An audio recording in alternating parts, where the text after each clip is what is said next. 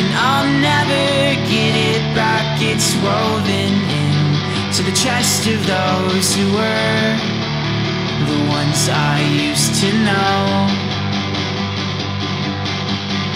And does it seem that every single part of me is learning what it means